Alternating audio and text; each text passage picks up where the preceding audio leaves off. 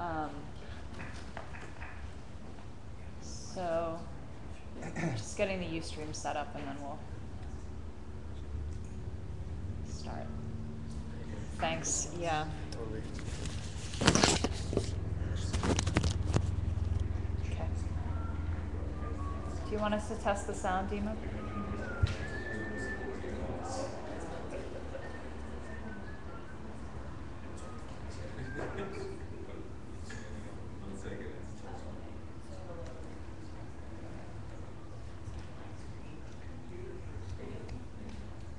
So there's a lot. There's a lot of tech for this this talk.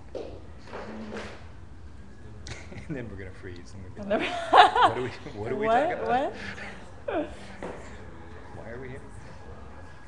I don't know if I mentioned to you actually that. So the idea of these is that we um, will put them up on my site, but then also there'll be a series of podcasts Right. made from these talks. So Yeah, you told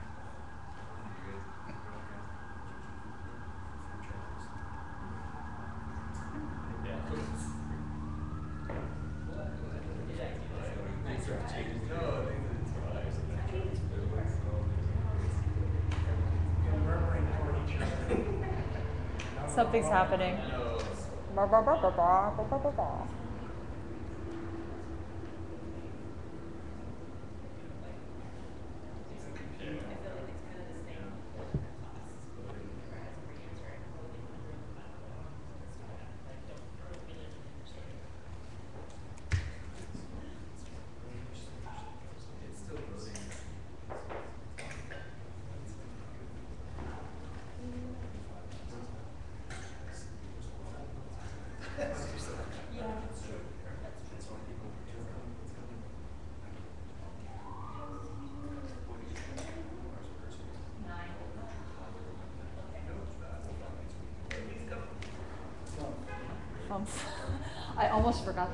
Day, and then it came back.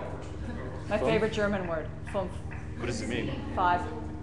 Oh, from. Fumph. I just I couldn't stop saying it, and then we were in some museum, and I and I bought five postcards, and the woman said fumph, and I was like, yes, I said it. and then I, and I said, yes, fumph.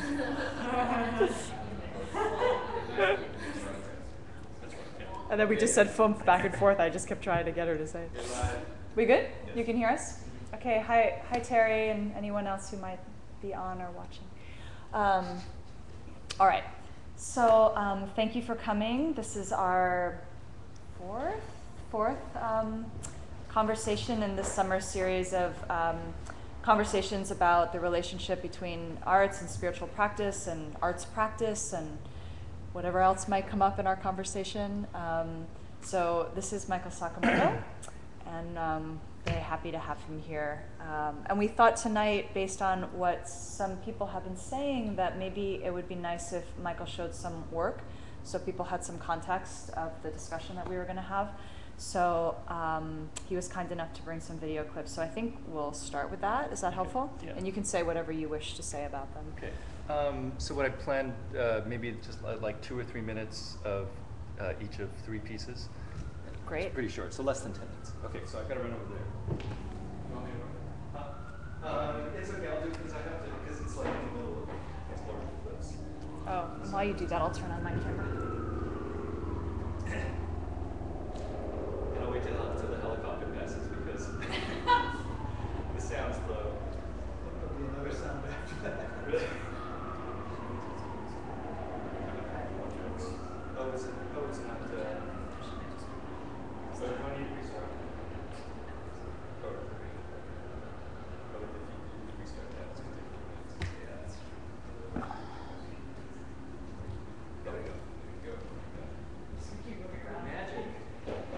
Okay, so um, hello everybody. Uh, so in a nutshell, I mean more about my work and uh, the kind of work that I do and the kind of work that I I'd like to think of myself associated with. It'll come out during the talk, but I wanted to start by quickly just giving you uh, a little bit of context for uh, my work in relation to what I'm guessing will be some of the themes tonight. Uh, I've been sort of thinking of it as, you know, art and spirituality. I noticed, I think on the flyer, it was more, it was more like connected to the idea of grace, um, which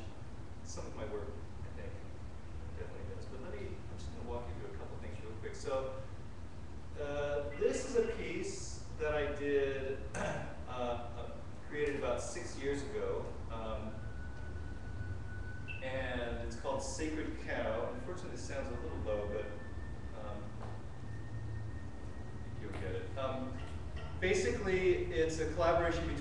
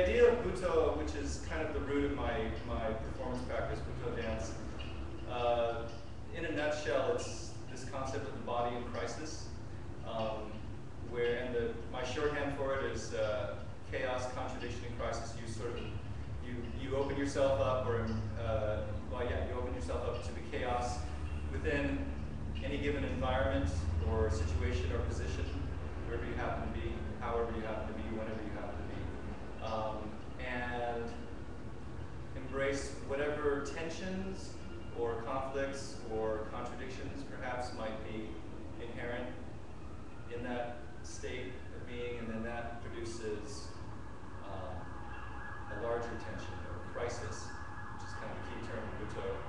And, and you, you resolve that by just being all those things. I mean, I always kind of default also to uh, something a Zen teacher once told me, which was um, you, when you want to, if you want to work through negativity or aggression or destructiveness, um, become the thing itself.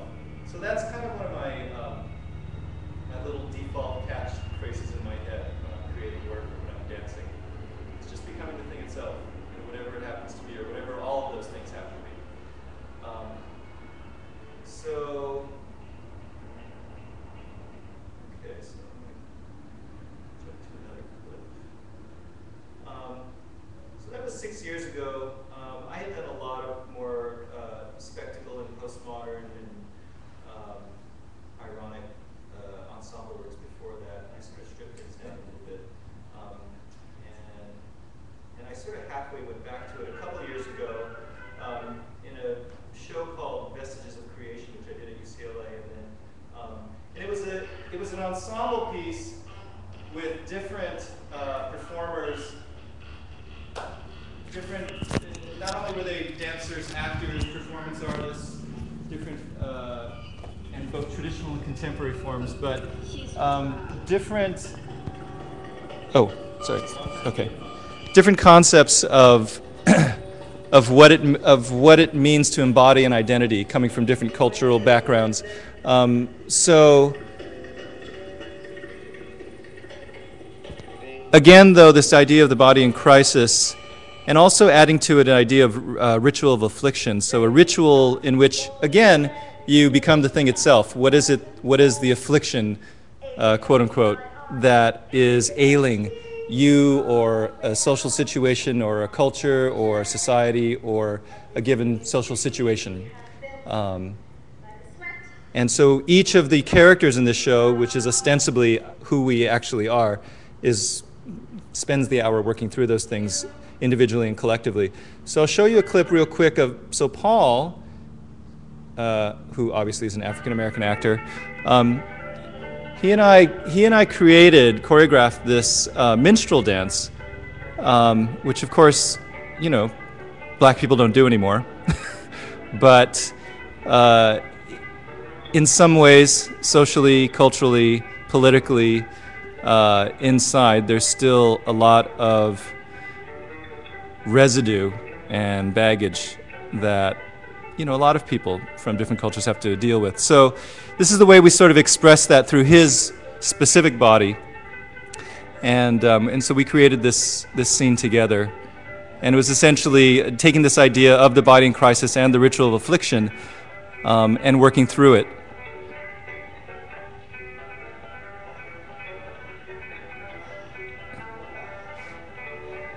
And we'll, and you know it's it's not just okay i'm gonna like get rid of my minstrel costume and then i'll be all fine.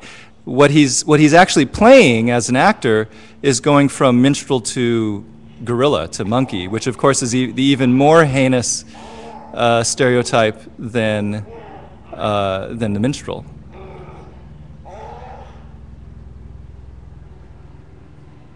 The idea is it's sort of like they cancel each other out or at least that's what we were trying to work on. The idea is that, in a way, that they're canceling, they're, they're trying to cancel each other out. Good question. By, well, the idea, and we think, we think it, it basically worked, was the idea was that, um, again, by, by taking in uh, these things which are conflicting with what you as an individual might feel is your um, your developed your uh, sort of second nature of what your your value structure is, what your um, what your society that you live in is telling you is both good and bad, um, and so obviously there's a lot of uh, what's the word well, there's just a lot of baggage around those two tropes of minstrel and and ape. No doubt. Um, and so by by embodying them, by making them his own, essentially, um, he's working through what that means to simply be those things. Um, and it's the same idea, I think, with, with any Butoh dancer. Um, Butoh dancers uh, if you've seen a, seen a few performances, they tend it tends to be very dark, very grotesque, very imbalanced, um, and you're constantly morphing through a number of states um, in which you are trying to resolve um, what is being uh, inscribed upon you, socialized, domesticated upon you, um, and then what may or may not within you conflict with that.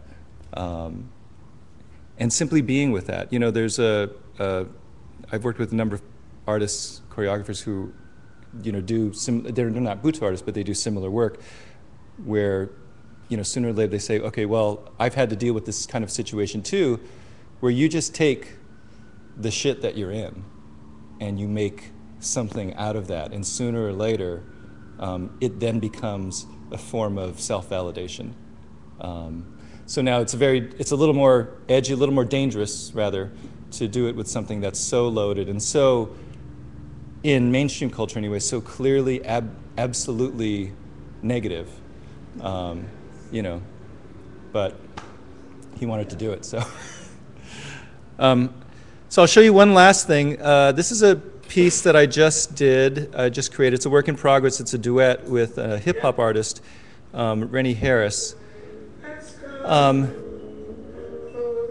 he's one of the people I just mentioned. You know, working with people who think that way. He's he's he also is thinking about these issues where in hip hop culture, which like Butoh comes from a kind of post-war devastated urban landscape um, of a subculture taking on this marginalized identity that's been inscribed on them and saying, okay, well then it's ours you know, fuck you, it's ours then.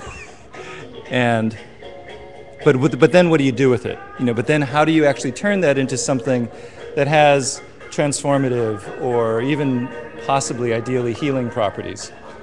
so that's what that's what our project is is about right now. so this is the way the piece starts. We're, we're, we're in a typical cipher, although what you didn't see is all of our childhood photos that get projected first, which are hilarious. Um, and uh, it's like we're battling each other, but actually we're battling ourselves, and that develops through the whole piece. Um, I'll just show you a quick example of a solo at the toward the end. Um, so Rennie's just done a solo dance um, where he's he, it's like he's sort of run up the wall against the wall of his own spiritual uh, beliefs. Um, the soundtrack is actually a morning prayers that he recorded in in Nablus. His company just toured the Middle East. Um, and then this is a monologue that I wrote about my first memory, which is police helicopter searchlights coming through my bedroom window every night. Because I didn't grow up in a great neighborhood. well, it was an interesting neighborhood, but it was, it was a little dangerous. Desperate pleading against Earth School with respect, infatuation. 42 Earth ciphers scraping concrete, too familiar and meandering. With their virgin eyes arriving. No center, no there there. You know, but you can't explain. You stand, nobody walks. Shine, nobody smiles. Hope, nobody there. Finding theirs in the sea of super lows, common flat surfaces, countless identifications lurk beneath, sand traps in the mirror. In this forest, no one follows your steps, a path with no intention. Infrequently, finding your dimmest possible, you stop at a clearing, a window, let out your story, get over the moonlight, frame betwixt and between, inviting infinite peering, a canted cracked uncertainty, So, Rennie's idea Rennie's a popper. Uh, that's his specialty in hip hop. And, um, and it's actually the first form of dance that I learned when I was a teenager in high school. Um, although I, hadn't, I didn't pick it up again until I was 40 and took a class with Rennie. Um, that was five years ago. Uh, but it's really amazing to hear him talk about it. To him, it's a matter of um, it's almost like being a spirit medium. It's like channeling energy, channeling spirit, uh, shape shifting, and um, becoming and using that sort of illusory quality of popping um, to become another self or another set of selves, um, and going through these sort of frames, you know, of of different selves uh, frame by frame by frame in front of an audience as you're performing on stage. Um, and so this idea, which probably mo- most of you, uh, you know, understand of impermanence, um, he very much thinks about that um, as he's creating work, um, especially for himself. Um, he doesn't perform that much anymore solo or himself, but um, so I was really honored that you know, he was willing to do this. But I think it's because he's a very spiritual person. He actually almost did a Master's of Divinity, um, which a lot of people don't know. Um, so this is something, you know, I think that he, this is, this is the journey that he's on as well. So, so anyway, so I just wanted to show you those clips real quick be, um, before we talked. And uh, so, yeah. Thanks. Should I bring, should I bring this back over? Yeah. The lab? Okay.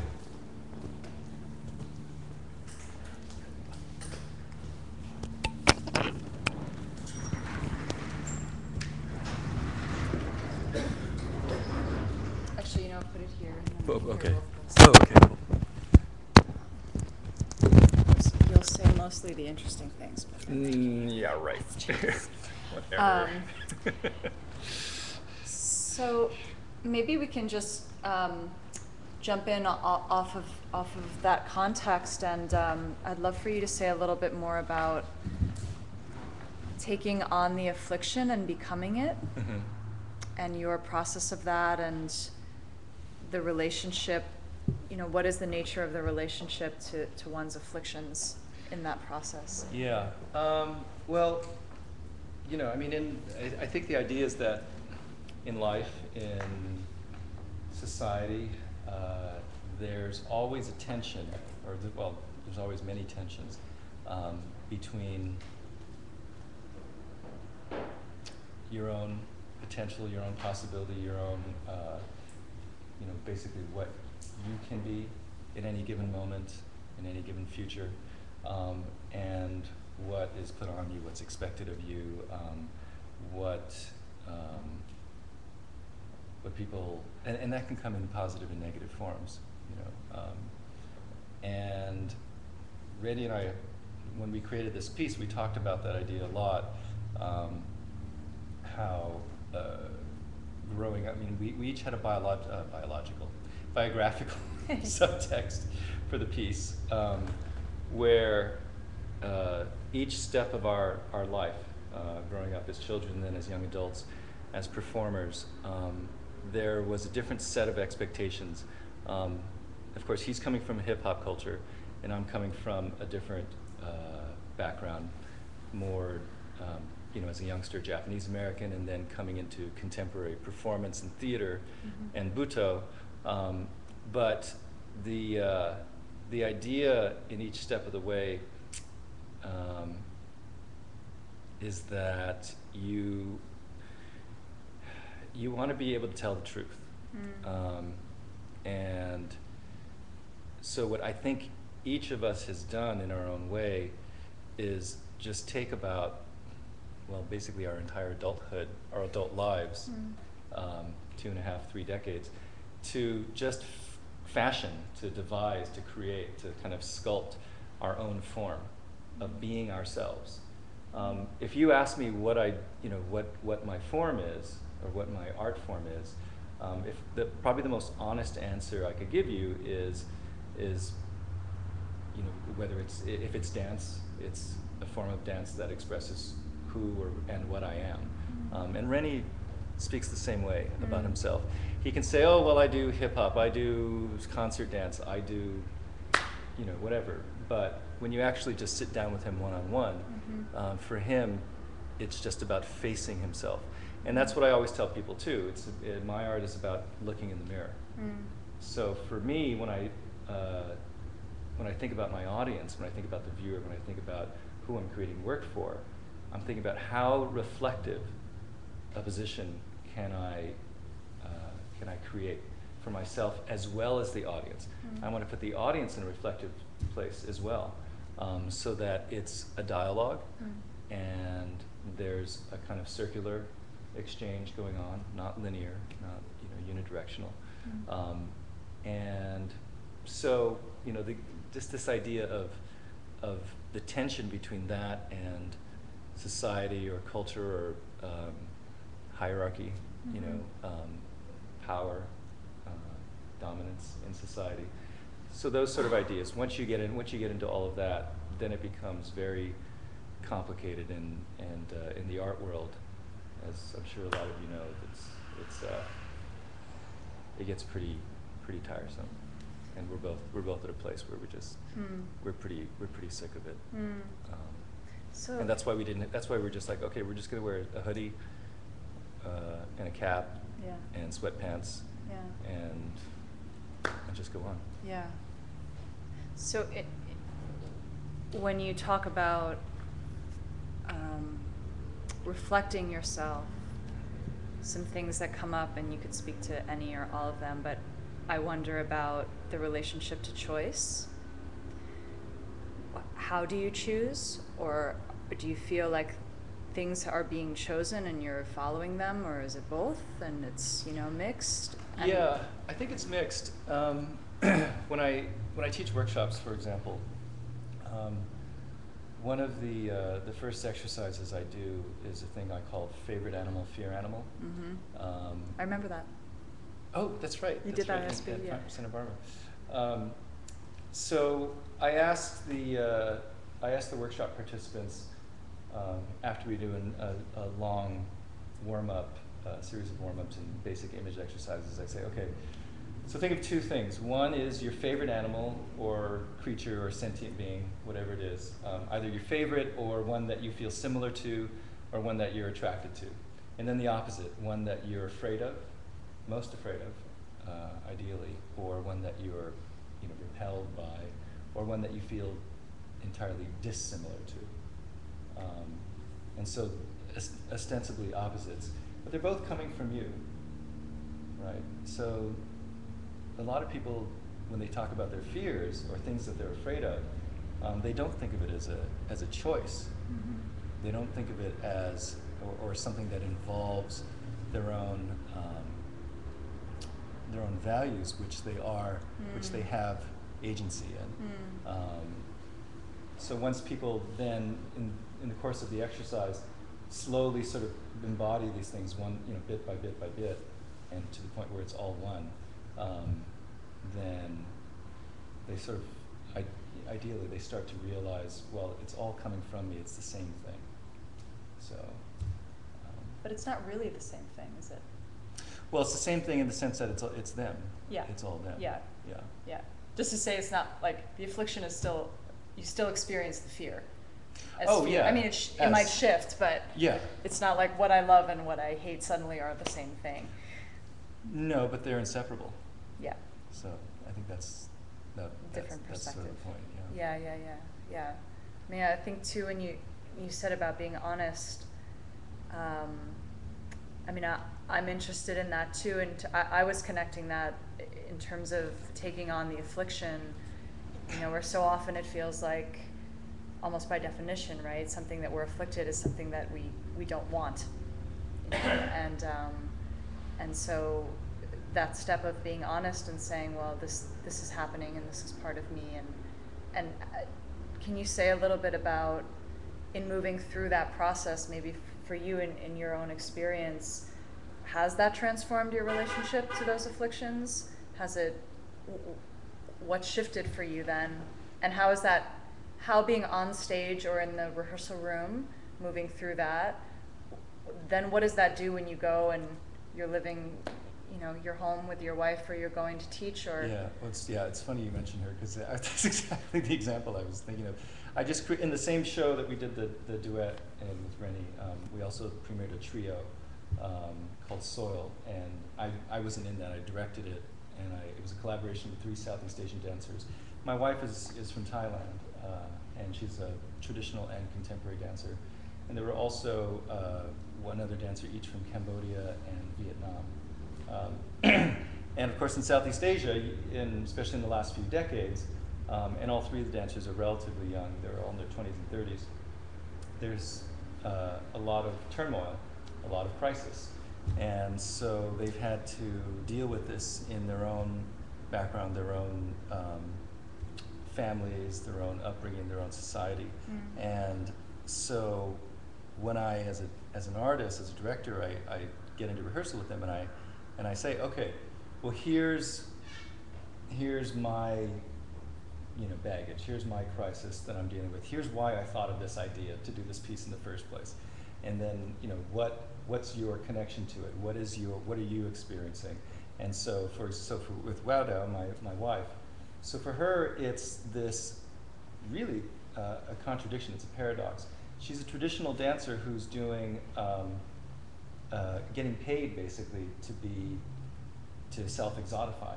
She's done a lot of work since she was 19, for, the, for example, for the Tourism Authority of Thailand. She's traveled to like a dozen countries all over the world um, on these, um, you know, these sort of goodwill and commercial tours. Um, at the same time, she, she knows what she's doing. You know, basically, she's like, you know, I'm a prostitute, Mm. um, and and so are so is most of the people I work with. Um, and so there's a there's tension. There's an obvious tension and a contradiction there. So when she um, when she created the character for the piece, she's going from someone who, on the inside knows it, on the outside plays the image, to by the end of the piece inverting that to someone who's on the inside um, accepting of that life, but on the outside trying to deal with, trying to resolve the fact that it is self-exotification. It isn't necessarily the truth. It isn't necessarily her root culture. Um, and for her, it's also a whole other thing because she comes from the north, um, which is not the mainstream culture in Thailand, um, and it, it's really suppressed. Um, they can't speak their native dialect in school. Um, they're hired by the they're hired by the, the big tourism authority and the big uh, tourism agencies to do these dances, but they're not given credit for where it comes from. Mm. They're just they, it's just labeled Thai. Well, actually, it's from this specific region. Um, So, so the whole ident- the whole identity is eviscerated. Um, so her final dance is is how do you how do you, how do you how can you be all those things at once? Um, so I know I'm not answering your question in terms of in terms of how I've done it specific, specifically, but since you mentioned her, it, it was just sort of Yeah, a ready yeah. example. So um, so for her, she'd never done this kind of work before. You know, essentially, I was asking her philosophically to be a Butoh dancer. It doesn't look like what we think of Butoh as, but it, it, it's essen- she's essentially using the same principles of how you create work, you know, what you're trying to embody as a performer in order to do that dance. And, um, and it was like pulling teeth through rehearsal. And then finally, uh, at the end, uh, in the night when, she, when we actually did the performance, now when she looks at the video, she's like, oh, I didn't go. That's always the case. It's isn't it? always the case. I know, Yeah. I'm like- you're like I'm, I'm, I'm over the edge. I'm Yeah. totally beyond, and then you Yeah. look, you're like, nah, Yeah. really do much. Um, so what's interesting now is that she's broken through in her own process Mm. um, to this other way of not only understanding but just being what she is, which is this massive contradictions. Uh, and so before she, in her mind, it was, okay, yeah, I know what I'm doing is a contradiction. I know I'm selling. I'm a, you know, when I'm doing my commercial work, I'm a sellout, et cetera, et cetera. But now she's she's thinking of it more as well. That's who we are, and we're not given any other choice Mm. in terms of uh, our profession from where we come from. Mm. So how then can we still do the work Mm. and be honest at the same time?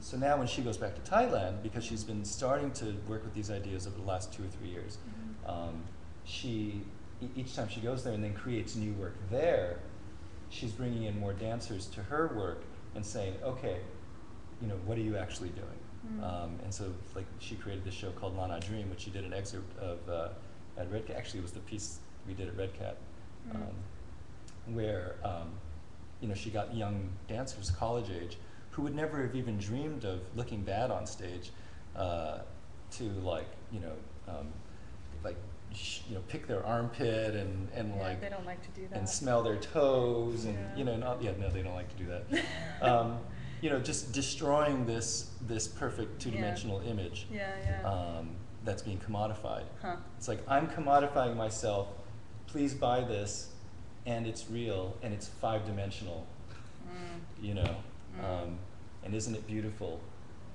and it's also all these other things at the same time that you're handing it to someone on a silver platter Mm. so I think in you know, so in, in terms of Butoh, what I'm trying to do now at this at this point in my career is is uh, approach it as much as a, uh, as a philosophy Mm. as anything else, Mm. um, and how can that sort of translate Mm. to other arenas, to other ways of performing, to other ways of expressing. I think you could be a Butoh visual artist. I can think you can be a Butoh musician or Mm. actor. And um, and we spoke about this a little bit before, and you mentioned the thing about crisis. But is that would you say that's part of the the root of Butoh? Is this Yeah. the body yeah, Hijikata, um, I mean, the, the five second history of the roots of Butoh is, so, sorry. Yeah. Hijikata Tatsumi, who uh, was a dancer in, the, in Japan in the 50s, a young dancer, um, was trying to be a mainstream, successful, sort of classical and modern dancer. Um, he was good, but he, he realized he was never going to be great. He didn't quite have the right body form and shape, and for anybody who's ever tried to do ballet or modern dance as a career, they know what I'm talking about. Um, and he also had a little uh, weird genetic thing where one of his legs was slightly shorter than the other. Mm. So he was always he, he was always slightly off balance, which oddly enough, actually Bob Fosse also had this problem, and that's why that, that, Yeah. that crazy Fosse walk that became so signature. Talk about using his afflict. He used all his Yeah, afflictions. exactly. He had no rotation, so everything was turned in. Right. Like he just went all there. Yeah. Yeah. So, um, so Hijikata finally said, okay, um, I'm going to use all these things that are not are not good, and make that right, make that Mm. valid. So he started to create this form, which he eventually later, years later, sort of started calling Butoh. Butoh is the second or third uh, word for dance in Japanese. Buyo is the is the Mm. is the, the typical, the main word. Um, the more harmless word. Butoh is more like a, has a harder hitting feeling, like stomp, or a hit, or a Mhm. stamp, stamping kind of feeling, Mhm. connotation. Um, and Ankoku Butoh was the original name, the dance of darkness. Uh, and Ankoku isn't just doesn't just mean dark; it means like black, like pitch black, like utter Mm. darkness. Mm. So um, uh, the idea being that if you go deep into the darkness, that's where you find the answers Mm. to self, Mm. um, and you can't have the light without the dark. So it's all it, it's a very uh, you know sort of Taoist idea as well. Um, and um, and yeah, so you when you go into the darkness, you go into what's everything that's supposed to be wrong with you, and you embrace that that tension, that crisis, Mm. um, and your body says, "Wait a minute, this is me. This is not me. This is me. This is not me." So you're constantly making and unmaking yourself through this way of performing. Hmm. Hmm. And and is it both? So you go.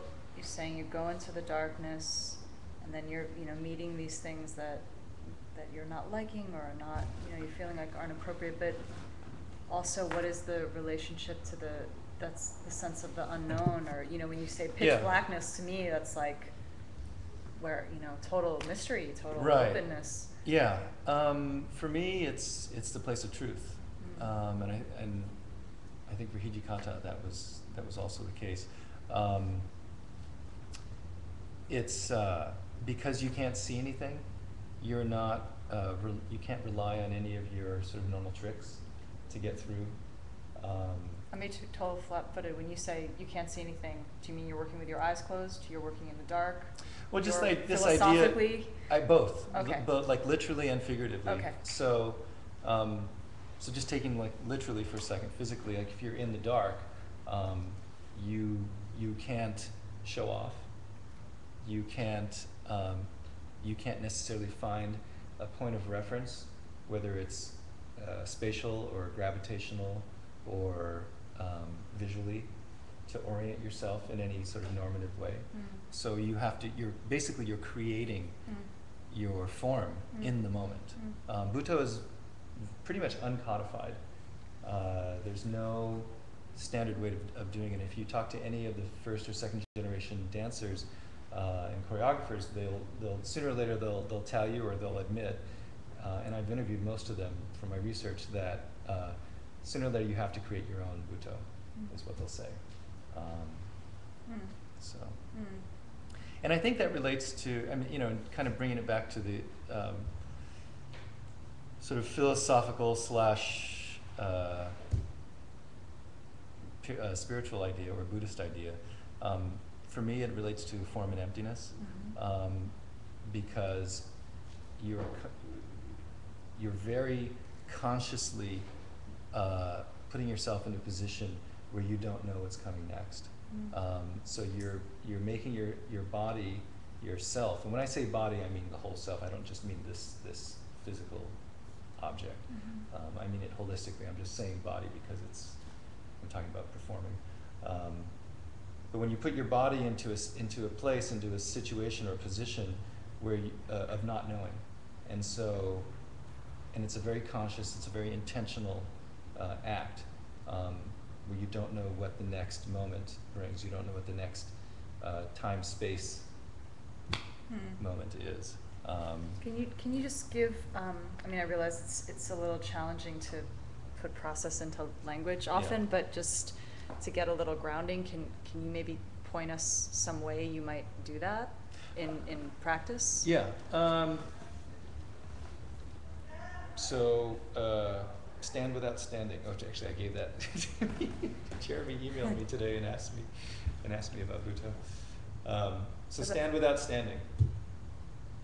And uh, sometimes in a, in a class or in a workshop, that'll be that'll be my first exercise. Just just do it. Go. Mhm.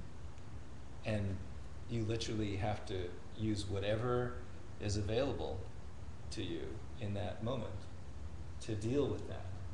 So it's not a it's not a literal thing necessarily where you can you can literally accomplish it because of course it's a contradiction right? Um, so what happens to you? What what it, what's the experience, what's the process, what's the step by step, you know, series of events Mm. that your body, your, Mm. your you know your whole entity goes through Mm. in order to to to face this this challenge, this idea, this this this this seeming barrier. Mm. You know, it's again, it's a form of reflection. Mm. So um, we had a, a student uh, when I did a wor- the workshop in um, where was I? I was in Yogyakarta in Mm. Indonesia at a it was a it was a bunch of theater students and um, and it wasn't it wasn't I, it wasn't stand without standing but it was a different I can't remember some different exercise where we had them crossing attempting to cross from one side to the other essentially by I can't remember what the directive was, but it was essentially just as contradictory. And everybody sort of, some people crawled, some people ran, some people, you know, they, they just sort of dealt with it how they could. And one girl froze. She just stood there and she almost cried. And at the end, she was just like, I think I did, uh, I think I did the did it wrong. And and her her teacher and I were, who's her teacher who's also has Butoh training was like, why are you saying that? Yeah. There, you know, there's there's no, it's not about. You can't do it that. wrong. you can't do it wrong. And well, she's like, but, um, but I, but I froze. She's like, I actually, Mm. literally tried to, you know, whatever it was. I think it was like walk without walking or Mhm. something, and, and, and so my body just jumped into this other emotional place, Mhm. and I couldn't control myself. Um, but I knew exactly what was happening because I was so, it was, you know, she she was so. Um, faced and consciously with this like utter impossibility Mhm. all of a sudden everything became really clear for her even though she was she couldn't move Mm. and but and in, like instant, Mm. instinctively like uh, uh, Rosa the other teacher and I said you got it Yeah. yeah Yeah. and so you know I think it's it's really beautiful to think about what happens when the the cognitive mind is out of its depth, mhm. and I mean even the fight, even the fight that it puts up, yeah you know, re- reve- reveals something very, very deep about one's nature, and and you know, interesting too. I think to put a whole group under that context, where in a way they're doing the same thing, immediately reveals this individuality, this deep individuality. right um, and that's and that kind of goes back to the non-codified Mhm. thing um, so Hijikata would the closest Hijikata came to codifying Butoh was he, he created this whole language, this whole structure, uh, lexicon of like hundreds of images uh, in, in words, not, not literal images, but just descriptors uh, called Butoh-fu or Butoh language or Butoh words. And um, so like a typical choreographic uh, directive in rehearsal or workshop might be like, okay, um, uh, uh, the, there's, a, there's a line of ants crawling up between your big toe and your second toe up and, um, and biting behind your kneecap and then um, uh, crawling up uh, and entering your body through the pores in your left armpit um, while the, um, while the, the smell of cow dung wafts through the air um, every five seconds. Go. And everybody, so you know, everybody has the same direction, right? But Couldn't I it be something like you're walking on soft flowers while? yeah, well, he, if he if he did that, it would be like you know you're walking through a field of daisies, um, you know, while uh, you know while you're chewing raw meat or something. You know, you, you know. Yeah, yeah, yeah. You know, there always just always had to be this tension. I mean, he was a, he was a wild man. Yeah, yeah. Yeah. I don't know if I could work with him. so.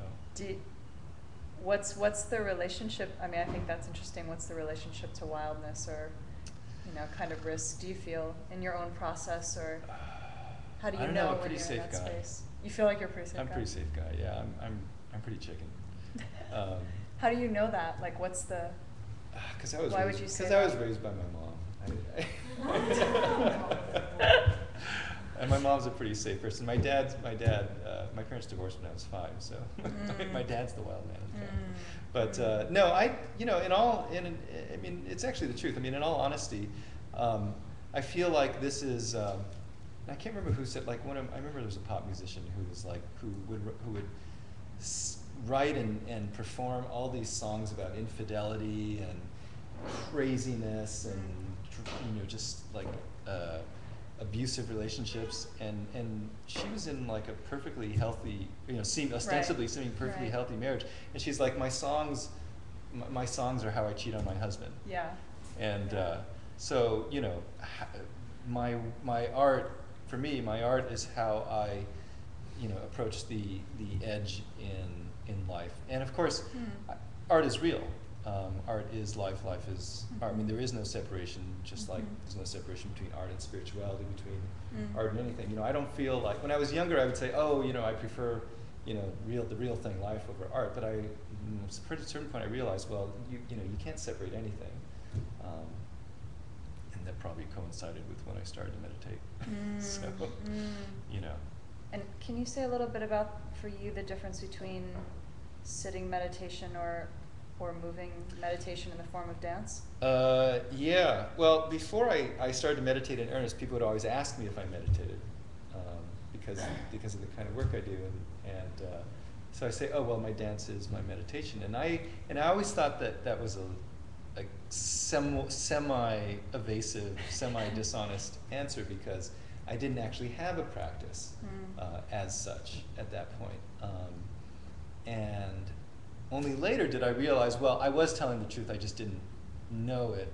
Mm. Um, so I was, I was being slightly dishonest, but I was actually telling the truth. Mhm. Um, uh, I, um, in, I, I've, I haven't done Tibetan practice. I don't know how many people, I, I don't, is most of the people in this room, are most of the people in this room of Many have people a are. practice?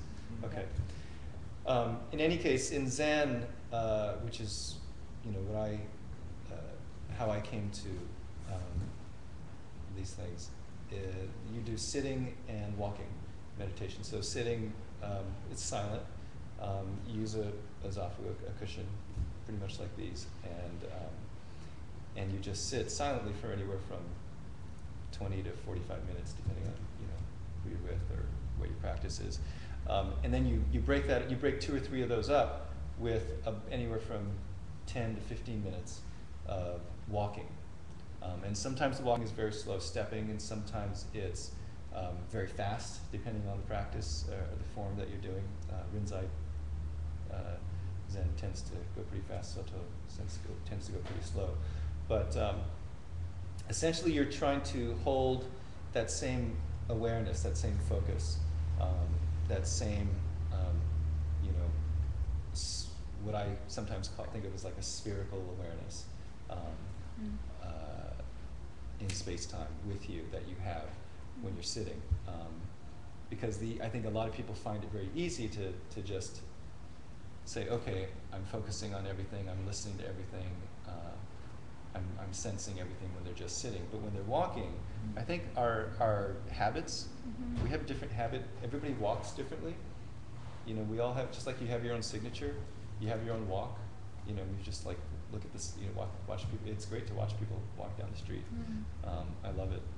Um, so when I'm dancing, I'm thinking of that just as an extension of those of that same thing sitting, walking, running, dancing. Mm. Um, and ha- so when I uh, teach, the first thing I tell people to do is to focus on their breath and um, and all of their senses equally. And so once I feel like they we've established that, then I feel like then then they can move out into um, how they're relating to their body, how their body is relating to space, Mm. how their relationship with space um, affects how they're they're thinking and their feelings uh, processed moment by moment. Um, so um, so it's when I'm dancing, I, I you know it, it, for me it's very much practice. Mm. Um, I don't separate those things at all. And the more I think about them, and, and the more I, I think about my dance as practice, um, the I feel like the more um, the more I'm bringing to it, the more layered it becomes because I'm o- I feel like I'm opening myself to more experience in the Mhm. moment. Mhm. Um, whereas the typical thing, is, especially in the West, is okay. Here's my intention. Here's what I want to express. Here's the idea. Here's the picture. Here's the sound. Here's the short. Here's the shape. Here's the form. Um, and I'm you know, communicating it to you Mhm. like that. Um, Mm. I don't think like this anymore. I think like this. Mhm. So, and sometimes it's hard because people, that means a lot of times, depending on the, the kind of work that you're making or the piece that you're doing, sometimes it's, it's even more than other times just by implication. The communication is just by implication. Mm. And, um, and sometimes you're really very dependent on the audience for just, I mean, you know, you know, for, for, for resonating. I mean, I, I feel like, I don't know, can I, can I ask you questions too? I mean, Sure. because I, you know, because I was thinking, you know, conversation. Because I know, you know, you like sometimes I've seen your work a couple times, Mhm. um, and like the last thing I saw, I don't remember when it was, but it was it was very technical. Mm. There was a lot of media Mm. going on, Mm. and so I remember. Which is funny because I know nothing about media. well, I, maybe it was it was you and your collaborators. No, no, that- it's true. Yeah, my collaborators know a lot about media, Yeah. and I just let them come in and do stuff. But Yeah. yeah. Um, but I was thinking, you know, as I was watching that, I was thinking, because I'm, I'm a tech geek as well, and I, I was a tech geek before I was a, Mm. performer, and I was Mm. thinking, okay, who in this audience is, what are they, who's focusing on what? Mhm. Who's focusing on mirror dancing? Who's Mhm. focusing on what the guy behind the laptop is doing? Mhm. Who's focusing on uh, trying to guess what program, what software he's using? uh, who's just wondering about that? What that? Why, why the hell there's a fish line, in, you know, across Right. the stage? Right. Who's, you know, and, and it's Right. all those things, or who's actually just experiencing Mm. this thing holistically? Yeah. Um, and and so that's why you know when I saw that piece, I, I was I was fascinated because that like that's the way I was experiencing it. Mm. Um, in, and I was experiencing it- circular way. You mean. yeah, so I was exper- I, I was really conscious of the audience. So when I see layered work Yeah. like that, I always become super conscious of the audience. Mm. Um, because, you know, I, and probably that's because I'm a performer, because, you know, when I go on stage, um, you're, you know, as, as you, those of you who are performers, you know, it's like, okay, is it, are they with me or are they an oil painting tonight? Mhm, you know? yeah, yeah, it's and I feel that as an audience member too, Yeah. you know? Yeah, yeah. You know, I, as I've um, as I've gone through my work, I it becomes increasingly important to me, and, and now it's really like kind of a necessity to me that the people that I'm working with are really willing to be in the space as their own artists with their own ideas Yeah. and and in a Yeah. way willing to fight for their ideas. Um, Yeah. You know, even even if I'm choreographing performers, that's really important to me because I feel like if it's not there, I mean, I mean, maybe it's because I personally I don't think I have anything that interesting to say. Like, for, no, really, like I, I don't I don't feel that interested in coming into the room and saying this is what this piece is about. Right. I'm really fascinated by by what is in the people in the room Yeah. and trying to create a context where they can they can be revealed. Yeah. And then I feel like if I have any talent as an artist, it's then to be able to create a context on stage where that can be present Yeah. in a layered way, as Right. you were saying. So, you know, so like I know nothing about video and I'm very suspicious of video. I don't even really like it in performance, you know, but but the people that I work with love video and they're really skilled at it. So it would be and I love them. So it would, you know, it would be un, unkind and dishonest for me to say no, we can't have video in this piece. Right. You know, so I say to them like show me and you know like let's and then you know we we fight about it in a loving way Yeah.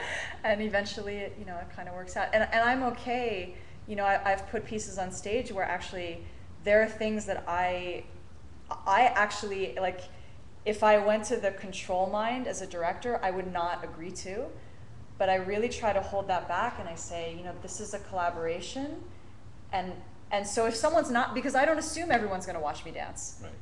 it's like some people may, but I, I assume there are people coming who will like even don't even know I'm in the piece. Uh, you know, yeah. who like I mean, even though maybe it's like a solo piece or duet piece, they'll be like, I don't remember. Was there a blonde girl? I don't remember there any per- girl in the piece. You know, Yeah. and um, and they're gonna watch the lights, or they're gonna hear the sound. You know, like the the last piece I did. Um, I the sound designer that I've been working with for a long time. He's a really great sound designer. I can't tell you how many people after the show came up to me and said that sound design was so great. Nothing about my performance, nothing about the show, but I thought that is a successful piece because they like they were responding to something, you know, and and I was able to create a context where that was present for them, Yeah. you know, and Yeah. so that made me really happy. Yeah.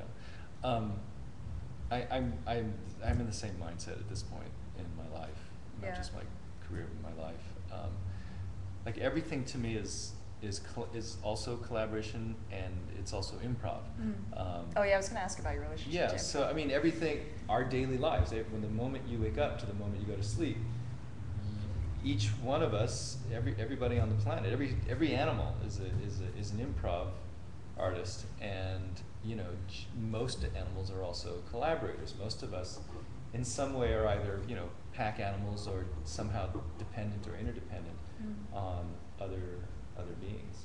Mm. Um, and so there's always this. Uh, I don't. I see, I don't even think of it as a give and take so much as uh, I think those are terms we put on it. I don't like to use. I, I'm really getting tired of words like give and take, exchange. Hmm. Uh, you know, um, because to me that's that's still linear, Mhm, and it's mhm. still like either Mm. or. Mm. It's still Duality. Duality, yeah, Mhm. exactly. Um, and I haven't. I just haven't gotten to a, voca- a, Yeah. a kind of full vocabulary it of having a fails, language discussion. yet. fails. language fails. Yeah. Um, Yeah. Language is both, you know, more and less capable of what we want it to be. Yeah, yeah. I, I remember when I, I went to Italy, uh, remember now, maybe it was like 10 years ago now, but I really um, got taken with the Mannerist um, painters. Do, do you know the Mannerist A painters? little bit. You know, and they, what the Mannerist painters do is, uh, why it was so kind of revolutionary at the time was that they would put the, the primary figure like in the corner Right. you know, or something, or in, you know, so there are all these pictures of like the Last Supper, or these, you know, very traditional kind of iconic um, narratives in painting, and then you know you'd have Jesus like looking at the flower, you know, you couldn't even find him, you know, and um, and this totally like threw people off and um, really changed, you know, changed people's minds. I remember looking at those and thinking, right, and I had this realization that up to that point in my life, in my own consciousness, I was always at the center. Like Ah. just in the way I would view the world, you know, I was here and then the world was here. Right. You know, and so I started to do this thing where I would just be in a room and then I would just try to place myself and my own consciousness off to the side somehow. and it was really great and very disruptive um, to my to my kind of view, you know, to, Yeah. to be like, I, I'm the only one who I'm the center for. you know, Yeah. for everyone else in the universe, I'm not the center. And it's not even like the I, but just literally my, my relationship to awareness. Right. You know, and trying to get a little bit more fluid in my relationship to awareness and, um, and to try to shift it like put the awareness above or below or to the side. And, and that was when I discovered I, that you can place your mind somewhere hmm you know and um, and that is very exciting i think to be able to be fluid enough to place your mind different places let alone you know in your body Yeah, Hijikata talked about that a lot. He would he would talk a lot about putting your your focus or your mind, um, your brain, and your eyes. He, would- he Mm, would use he would mm. usually say eyes. You know, put your put your eyes in your knee. Put your eyes in your belly button. Put Mm. your eyes um, uh, on the roof. Mhm. You yeah know, or in in the river or something, um, and and dance and dance from there. and just recognizing that you can do that before you even see what happens it's Right. like just the recognition that you actually have some agency over your relationship to your awareness is a thing that uh, you know most of us are not actually uh, taking any power over most No, of the time no. you know we're not we're not empowered in what what's possible Yeah. um, And the trick, of course, is it has to come from you. Like you, Right. nobody can teach that to you. right right right Um, you have to kind of, they can just sort of guide you, and but you have to create your own yeah relationship to that, your own method. yeah you yeah know? yeah Which is why, you know, again, I, I love Butoh. Um, Mm. Also because I became a performer very late. I didn't become a performer until I was 27, 28. Mm. Um, before that, I was more like film, video, media, Mm. uh, I photography. didn't know that, huh? Yeah. Um, it was all visual media Wow. before that. And, I'm, and I've come back to that at times throughout my life. And, and like now, I have a very active photography practice again um, for the past couple of years. Mm. Um, Hmm. so. And how do you feel like, what's your relationship to, to embodiment within photography versus? Um, it's it's reflective. It, it's about reflection. Um, it's uh, uh, Butoh has a really, really well. Basically, Butoh has, has had a relationship with photography since its very beginnings. Um, Hosoe Eiko, or as you know, I mean, uh, in Japanese you put the last name first, so um, we know him as Eiko Hosoe. He's a very famous photographer. He's in his late seventies now. Um, he shot. Uh, so there's more language. Shot like, you know, he, he took photos. Take photos.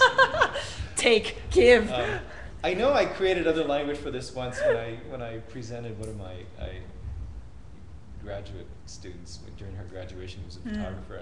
I, I but it's it's too roundabout. Anyway, for lack of a better term, uh, he took a lot of photos of Hijikata and Kazuo Ohno, who's the other creator, founder of Butoh, um, throughout their whole careers, and um, it was always this thing. And if you look at those photos, it's really and, and a lot of Butoh photography. It's um, there's this there's this sense of the a dialogue um, Mhm. between the photographer and the dancer of just are we here together sharing this moment um, you and, and when you talk to them Mm. uh, they'll they'll talk about that feeling you know Mm. um, at the same time that because they're modern postmodern con- and contemporary artists Yeah. they'll still be very much like okay yeah but it's me i'm projecting Right. my own shit my own biases my own esthetics Mm. my own uh, sense of beauty or my own sense of ugliness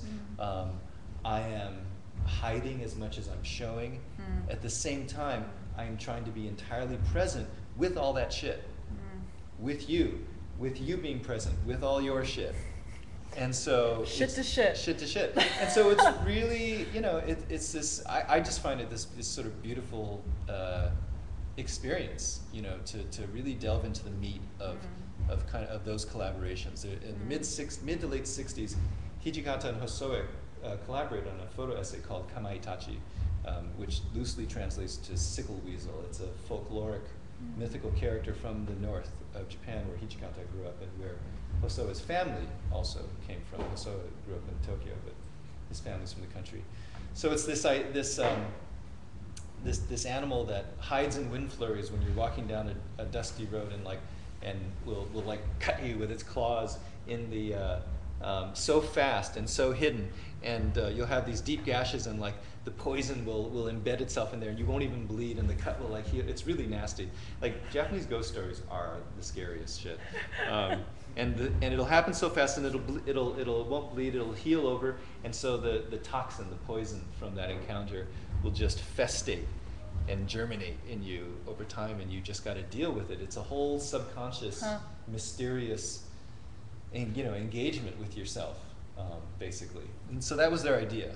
Huh. Um, so using this idea um, to take these photos where he's running around rice fields and doing crazy stuff with farmers and, Mm.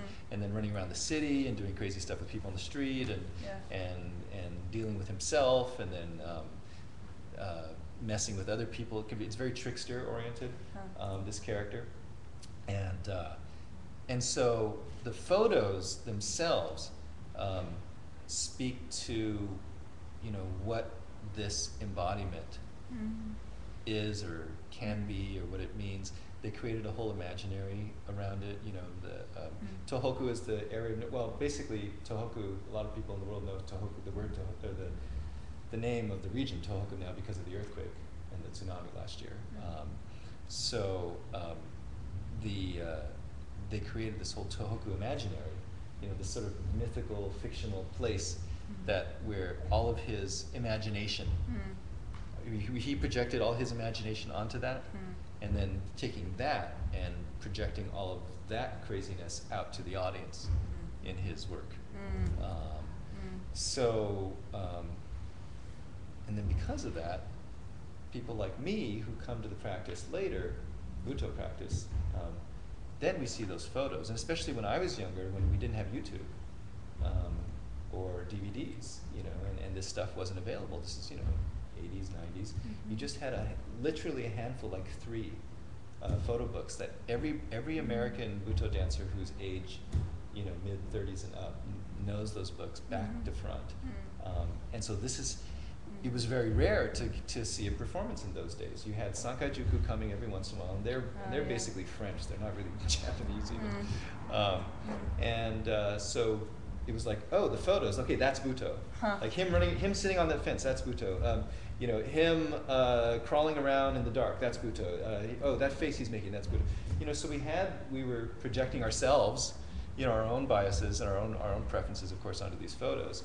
And so it was this weird Huh. dialogue that Wow, we that had. interesting. You talk to any Butoh dancer my age who's who's uh, American, Yeah. and we all have the exact same experience. Yeah, that uh, you know. Now that you say that, I think my exposure to Butoh through my early twenties until I really started to see Butoh was was also mostly through photographs, and I hadn't really you know thought That's about all we that. had. That yeah, That's all we had. yeah. And you're like, oh, that that's it. Yeah. You know. And then later, you know, when you, you start to see more shows and then presenters started, there were, used- there were more tours, especially starting in the early 90s. Um, uh, and, um, and then teachers and getting to meet people.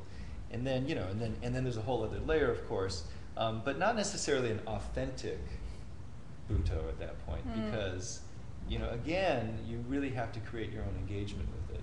Um, um, Oguri, who I don't know if you know Oguri. So Oguri, who's another dancer here, who's you know very he doesn't like to call himself a Butoh dancer, but you know essentially he's in absolutely that lineage, and he would admit that. Um, you know when he went to Hijikata, when he was a young performer, performance artist, aspiring dancer, you know said, "Oh please, Mr. Hijikata, you know can I be your student?" And uh, says, "Oh yeah, whatever, you know get lost, kid." And um, and so finally he kept asking, asking, he said, "All right, show up to my house at you know whatever it was the next day," and. and uh, I- know I'm mangling the story, but I'm, I'm getting the core of it right. Um, he shows up and he like takes him into the kitchen or like cooks him some noodles and leaves him there and says, "Okay, I'll be back. I'll be right back. You know, eat the eat the noodles. Like eat them now while they're still hot, like you know, boiling hot." And so he's like, "Okay." and and while he's doing that, he looks at him and he sees him walking away. so good. and he didn't see him again for like days.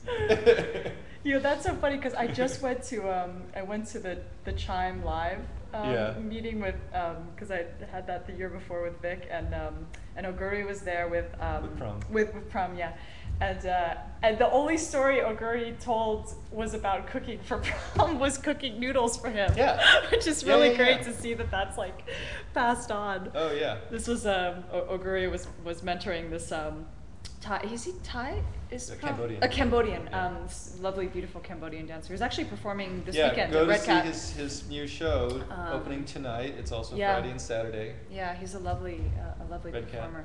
And he just, yeah, he told a story about cooking, and I, it makes me think too that I went to um, when I was in New York. I went to the Japan Society. Um, can't remember what year this was now. It was maybe 26 or 27 or something. Anyway, um, and uh, and I went to this long workshop, and in, um, and I'm pretty sure it was with Kazuo Ohno. I'm not sure. Have, uh, Yeah. the- it was in the 90s? Yeah, Yeah, could have been. yeah, late the late 90s, and Could have been. yeah, I don't know. Anyway, but it was like big person, right? Yeah, And I was recognizing this was like big person. And I was like, I, I want, I want go, I want go study Butoh, big person, you know, a big person. And I was very excited. And, um, you know, I had to like get in early to get, there's like a waiting list and like some, you know, somehow by some miracle I got on, I got in. There were only 20 of us or something there. And, uh, and I thought, this is it. Like, I'm going to get, I'm really going to study Butoh now. And, um, and I go in, and we were studying Butoh. But we sit down, and he pulls out Edgar Allan Poe's The Raven, and he's like, let's read The Raven. And I thought, okay, but are we gonna are we gonna do some Or and the whole time we were reading The Raven. I, I'm trying to remember if we even like I think the last 15 minutes of the whole like long workshop that we had, we actually got up and started to like sound like we had gone through the poem so many times and he was just like this is what i'm working on right now you know which now looking back is is very moving that it was like he didn't come and say okay i'm gonna like give you some regurgitated Right. like my past process. Right. he was like this is what i'm working on right now. I'm really fascinated by edgar allan poe but in my mind i was thinking i, I already I, I, edgar allan poe like i want some you know some butoh but um, but I remember, but I remember then this moment of kind of standing up after sitting for hours and hours and you know reading this poem and sounding it. We were doing all this vocalization and and uh, and then just for 15 minutes, it was like we started to put those like those sounds into our bodies. That sounds like Kasai. Yes. Yeah, Akira Kasai. Yes. Yes. It's Kasai. He's all about the voice. Yeah, and um, and yeah, it was very it was very beautiful. Um, but but just that you know the kind of um, the the dismantling of the expectation was really Yeah. kind of the fruit of the whole process Right. of that for me.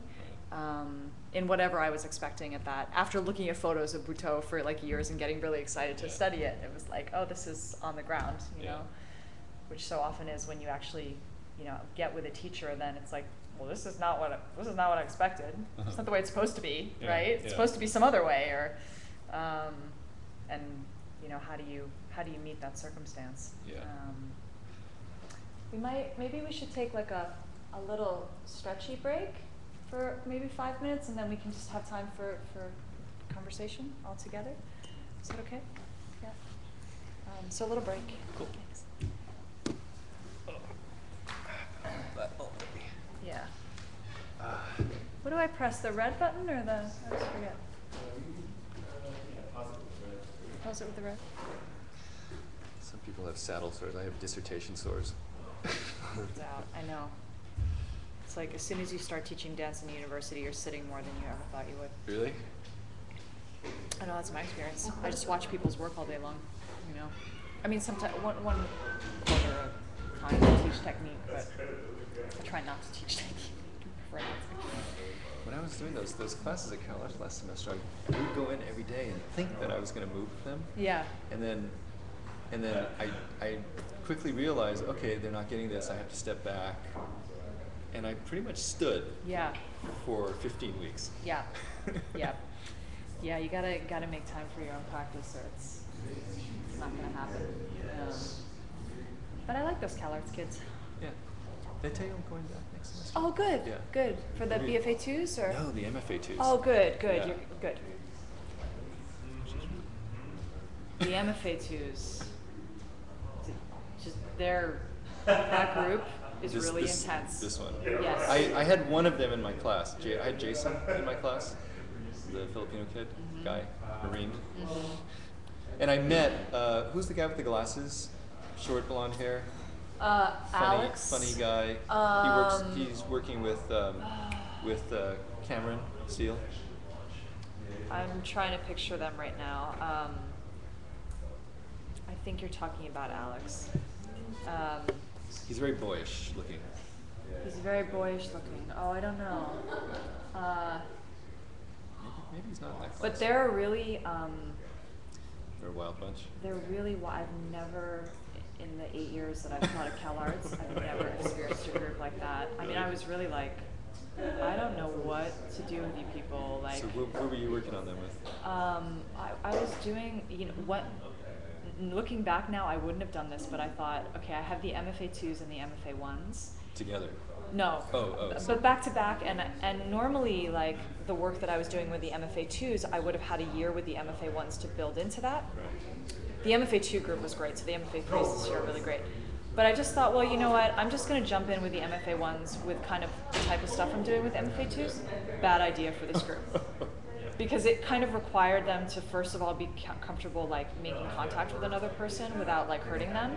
Um, like li- listening. Like i mean they're no they're really i'm just telling you now to be really mindful because they're like babies.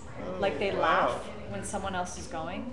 Like like stuff that you just kind of go i've never experienced that with grad students. And i mean i think Like that, that kind of like they're just teenage kids. teenage laugh. Yeah, like ha ha ha! Oh, he's like you know crawling on the floor. That's weird, you know. And it's just, I mean, some of them are, some of them are good. You know, some of them are really there, but the, but the dynamic of the group is very rough.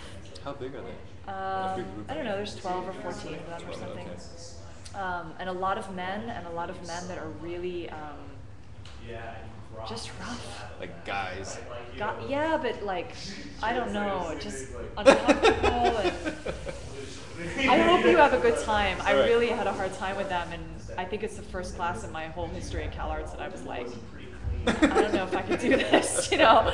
And they know. I mean, all the teachers were having different, Oh, really? and they know as a group, you know. Yeah, yeah. Um, Interesting. and I had to have some really, you know, it's hard. It's hard for me to step into a kind of wrathful mode, but I had to have these moments like, you guys, you're not going to make it. You're literally not going to make it through this program if you don't like step up. Like, Yeah. let alone being an artist. Forget about that. Yeah, You know, yeah. just like, Oh, I had to have that talk, unfortunately, with a couple people, but Yeah. no, definitely not with a group yeah. last last semester. Um, but but you know they've had a, a lot of people pretty intensely speaking to them, and some people have been put on probation, and so it'll be Uh, interesting to see what. Oh, I heard there was one too. yeah. Yeah. But I mean, I think the work you're gonna, the work you're gonna do with them is definitely complementary to the work I've been doing with them. Okay. So it's more just the question of uh, have they got gained any maturity over the summer, and can they do it? You know, but you but you might have to be you might have to be rough with them. So just be prepared. Okay. Um, I'm gonna.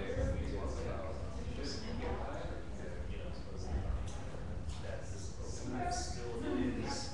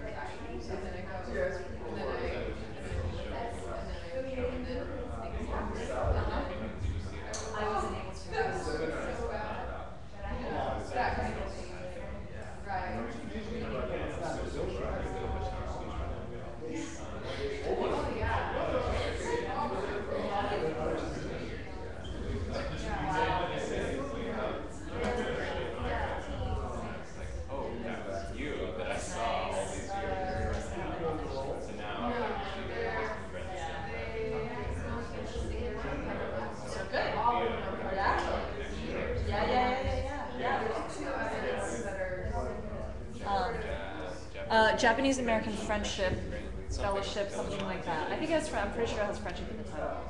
Um, so let's start to gather back. You can keep eating or talking. Oh,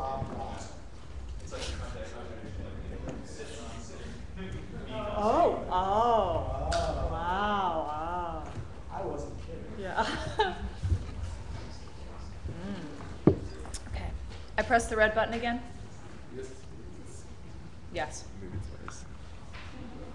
Yeah, it's good. Good? Okay.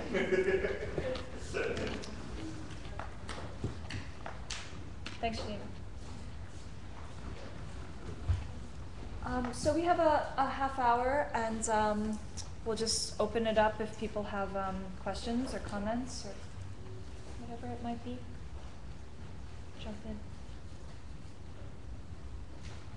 I think I have a technical question for someone to answer. So, Buta is a type of dance. Butoh. Butoh. But it's not from Bhutan. No. Okay. I Japan. gotta look in- Okay. Japan. Um, what is it like? Was it what we were watching? Uh, well, Yes. Kind of. I mean, I mean, I mean, yeah. I, I definitely consider myself a, a Butoh dancer. Um, it's it's it's been around for about a half century. Um, 1959 is is a, a performance that Hijikata did in 1959 is what's generally considered the first, you know, Butoh dance. The first time, basically, he created a performance al- along these ideas, these principles, um, and uh, and he developed those ideas for about 10 years to the late 60s, and then at that point, he started to sort of really formulate a very clear way of working um, based on like what I was saying that imaginary of you know this this mythology he created around the landscape that he was raised in, and so um, it's it's really at that point those performances he was doing from the late '60s through let's say the late '70s, mid to late '70s, that really established the kind of what most people know is the the, the kind of stock look and feel of Butoh, usually like the the you know full body white paint, uh, very low, uh, methodical, grotesque, off kilter, off balance, asymmetrical, arrhythmic movement. Um, um, um, uh, a lot of shaved heads. I just happened to shave my head five years ago. You know, I, I had really long hair before. Well, I had medium length hair for about three or four years before that, and then for the previous decade, I had super long hair. So um, I didn't have the look in that sense. Um, But now you do. But now, yeah, but I know I'm going back. I'm regressing um, back to the womb. Um, the uh, um, uh, there's a lot of um, you know, there's just a lot of stereotypes at this point, uh, for better or for worse, about what Butoh is, what it looks and feels like. Um, I had a, I've had a number of people come up to me after performances where like, oh, dude, you were so scary. And I'm like, why? I'm just, you know, just being, you know, what was happening or what, what I was finding, you know, what was there. Um, to me, it's not about even necessarily, necessarily darkness. It's just about um, opening. And when you open up, what you don't normally show is usually what's hidden, and what's usually what's hidden is usually darker because, or at least what we call, what we label as the darker aspects of ourselves. Um, but if you just accept them as part of ourselves, you know, I like, you know, I, I see most performance like this, or you know, not even Butoh. It could be any kind of performance. It could be any kind of. It could be a painting. It could be music. You know, it could be, so to speak, very dark. But to me, it's just what it is. Um, I don't. I don't think in those terms myself. So. Hmm. I'm curious, I have two questions. Um, one question is, when you're, when you're talking about afflictions, they were pretty externalized. Ex- And- externalized. Yes, Yeah. about, and I think of my afflictions as my own. Yeah. And I wonder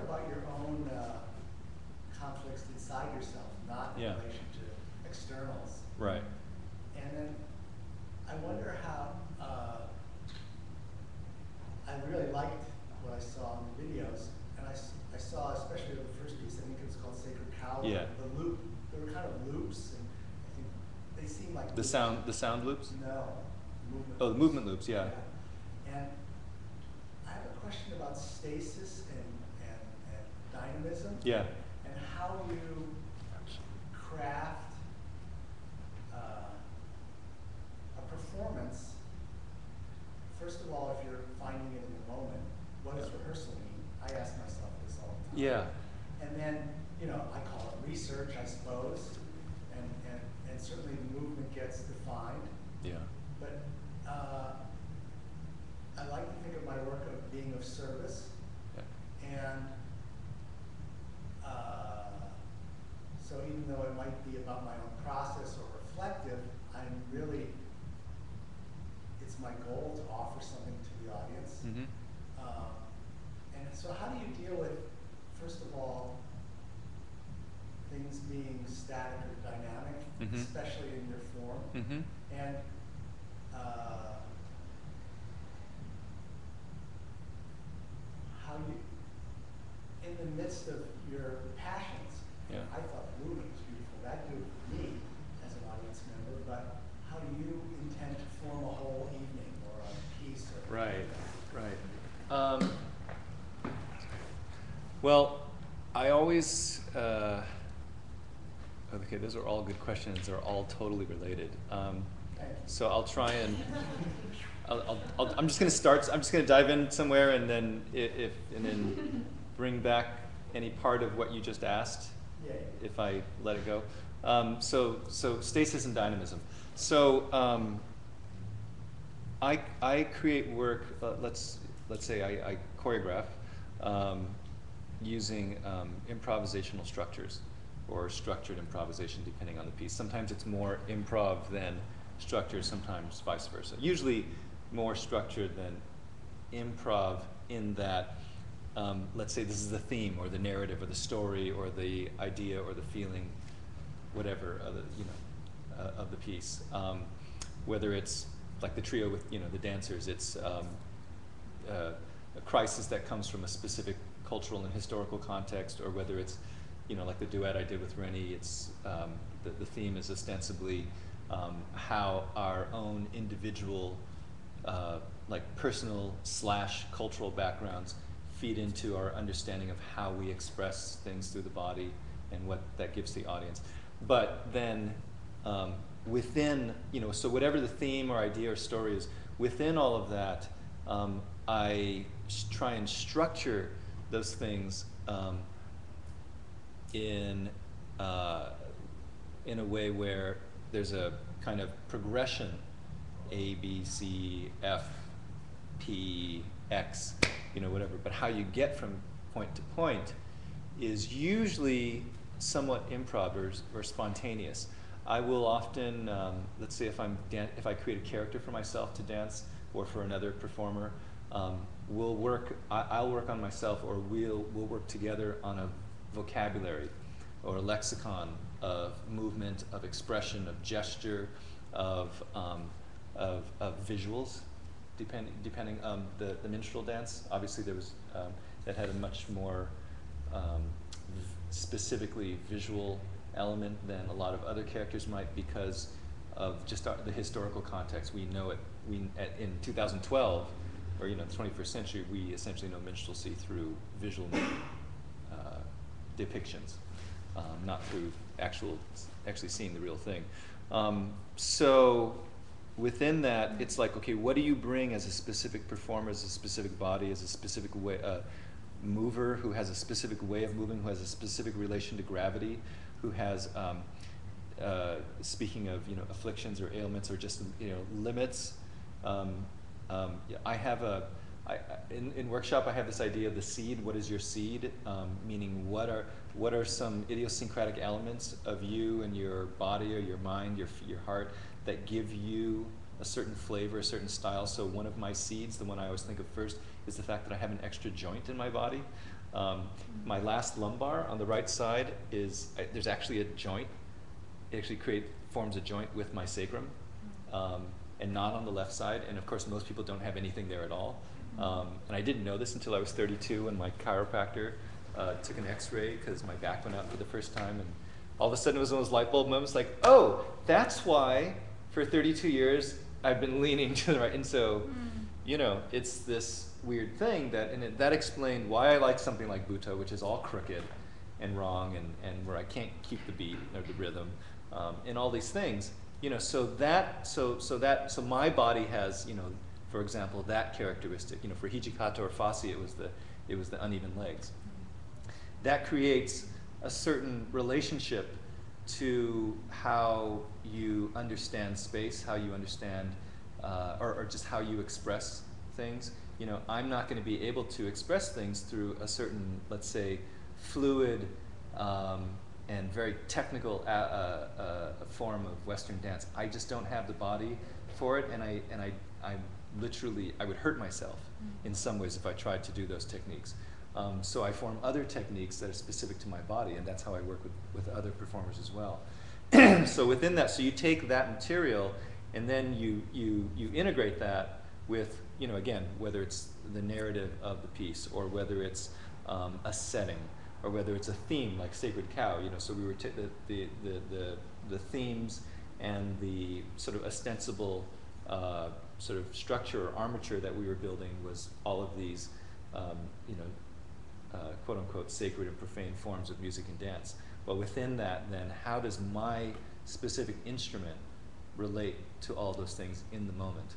Um, and so that's this play. So going back to this, what you asked about stasis and dynamism, there's a, there's a constant relationship between, um, especially in something like Butoh, Butoh, between getting stuck and unstuck, between moving, between rising and falling, between um, moving and and um, and stopping, between collapsing and assembling yourself in the moment. Um, so all of those dualities are just a play. I mean, again, for me, it's all practice. It's all one. But in terms of understand, coming to understand how these tensions play out in my body, in my life, and in society, um, how the audience as individuals relates to all those things. I have to be honest. I have to, you know, I only have what I have, my instrument or the, the bodies that I'm working with, my collaborators. Um, yeah, as you know, as a performer, as an artist. So, you know, but through that, it's like how much of that can you can you use to fill the picture, you know, to fill the frame um, uh, of attention of the viewer's uh, attention, and um, and so duality, those dualities, and I do, you know, very uh, intentionally and consciously um, think of them as dualities, and even sometimes, you know, even binaries, you know, even like dichot- dichotomies, um, because that produces this. That that just makes it clearer as in, in within the context of you know an art form of creating art, and for uh, as an, as for for the experience of an audience to see you know where how these things play out in the body in life in the world in situations between people or between someone and themselves so yeah Mm. Mm. Yeah, quick question, in the, hearing you talk about the Butoh and the origins of it, I wonder, in the conversation, uh, there's, is there any possibility that it came as a kind of revolution to traditional kabuki theater? Uh, Which is very yeah, not not specifically kabuki, no, but um, you know, and I and I can't. Uh, there are other people who know the this uh, the specifics of the history much better than I. But what I can say is that um, Hijikata um, wanted to. He he created this this this this form or this way of working or this practice. Um, I call it a practice. Um, uh, specifically in order to uh, allow the practitioner to to devise their own way of relating to themselves and to the world, regardless of what their their background is, what their existing context is.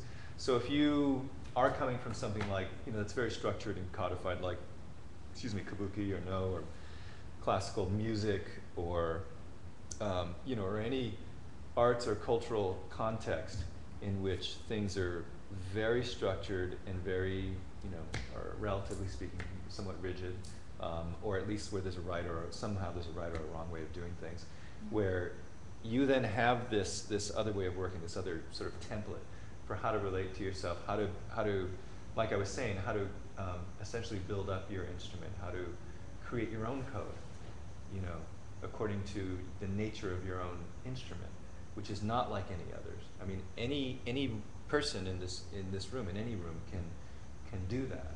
Uh, Butoh just happens to be one of the ways that people do that. When I first became a performer, I didn't learn Butoh. I learned my, my teacher was Rachel Rosenthal, which some of you have heard of or know her work. Um, she's older now. She's since she's basically retired. Um, she's in her late 80s. But I worked with her. Um, she was the first performance teacher I worked with, and I was in her company from the kind of early-ish 90s to about 2000.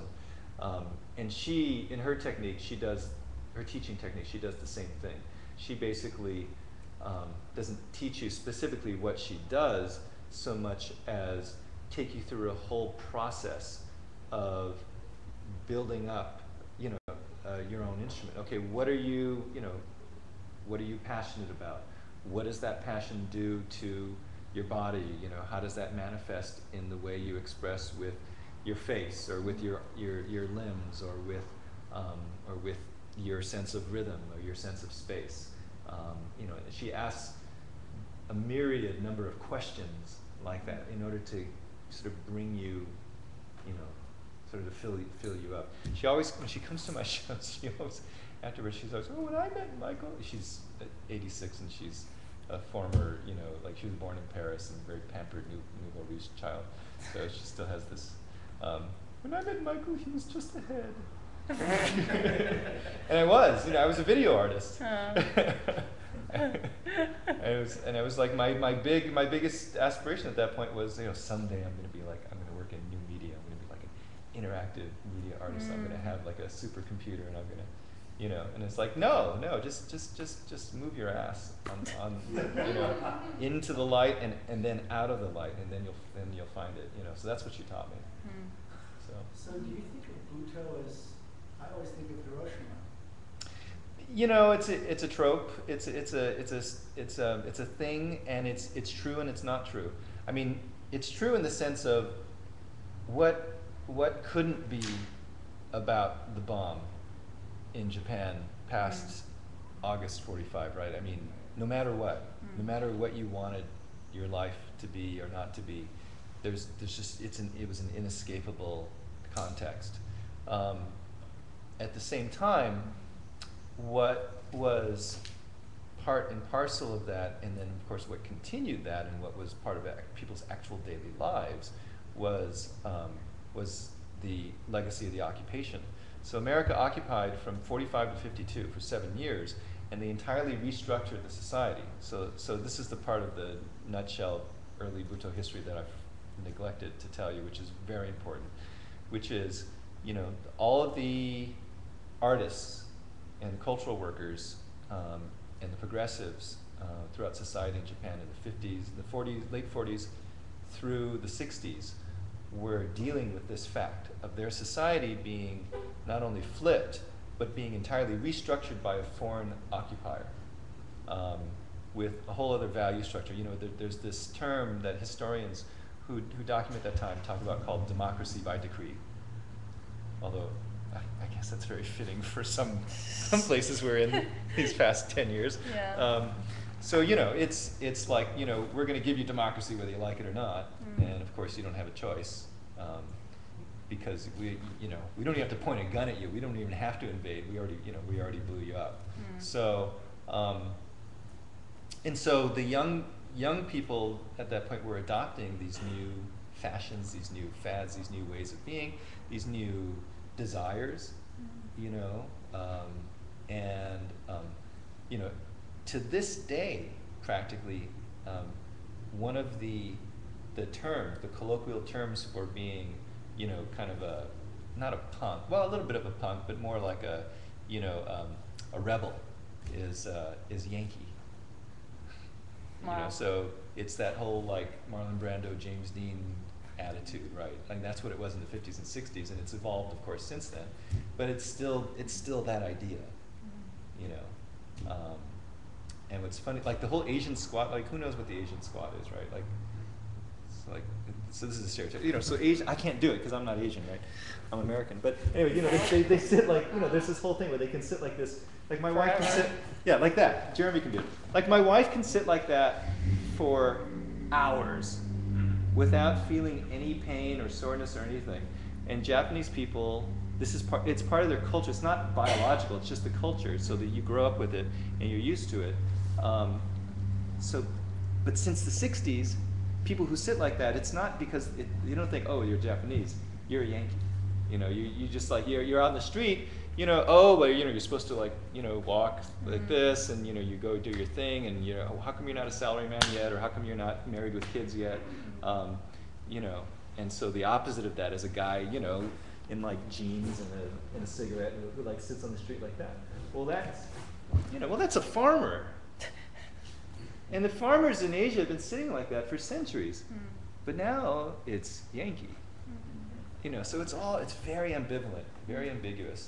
It's all it's it's very Mm. you know.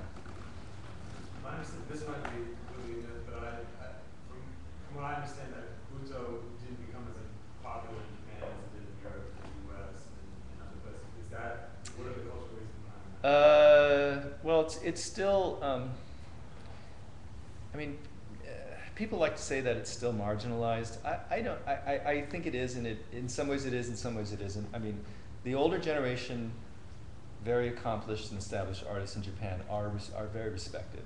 Um, are they the ones doing big main stage works? No. Be, besides Sankai Juku, no. Um, but again, I think part of the reason is just practical. I mean, most Butoh artists don't set out to create. They're not on that career path. Mm. You know, um, Sankai Juku was. I mean, they, you know, they're like, okay, we're going to be the, you know, whatever, the, the you know, I, I don't know what they were thinking, but you know, it's like we're going to be the the the, the Pina Bausch of, or the, or I guess at that point, you know, the, you know, the Balanchine of, of Butoh. Um, and they did it. I mean, they made it. You know, they they've they've 30 years for the past 30 years, 31 years since 1981, they have had biannual commissions from Théâtre de la Ville in Paris.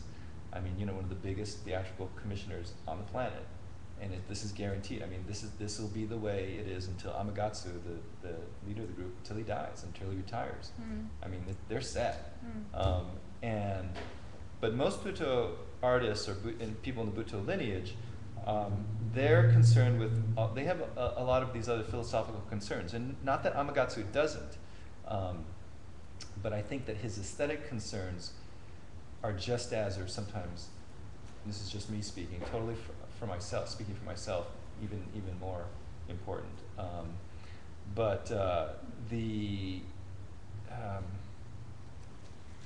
Min Tanaka, who is very successful, um, has a, is very famous, has a big name, has a whole way of training and technique that's very, it's worldwide now called Body Weather Workshop or Body Weather Laboratory. Um, he, you know, he's like, I'm a farmer and a dancer. I mean, he, in the mid 80s, he left the city or left living 100% in the city. He went out and with his dancers rented, you know, Guri was there. He rented a, he rented farmland. He's still, he's still there. They've built stages like in a rice paddy on the side of a mountain in a Mhm. forest. I mean, it's, if you can ever get, get there, it's amazing. It's not hard. It's only a couple hours outside of Tokyo. Mm. Um, and it's, you know, they, I mean, i the schedule changes a lot, but you know, it's like they farm, they dance, they drink, they, they crash, and they And I wake up, and they wake up and. BAM, and he just refused to stop performing. Men, So, men, you know, men. So, you know, you know, the agreement for the stage hands and Yeah. the three thousand people were there, he really didn't care less. No, He no, he doesn't. and He doesn't. And people finally, everyone left, and he did not stop. And- and- obviously and- have a big career if you're gonna. Well, and but well, and what could have eas- what could just as easily have happened, it, because you know he's dancing the moment and the play and the place. What could just as easily have happened is he could have danced for five minutes and said, eh, "That's all there is."